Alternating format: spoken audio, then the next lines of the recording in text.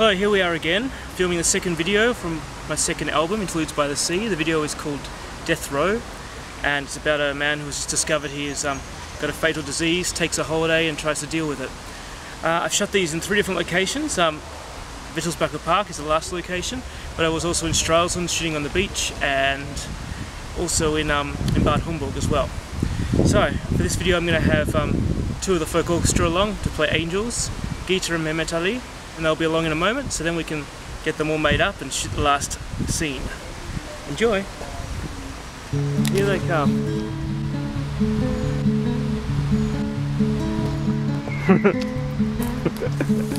so, location scouting.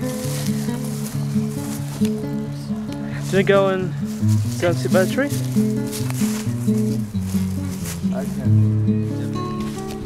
He says that. yep, looks beautiful.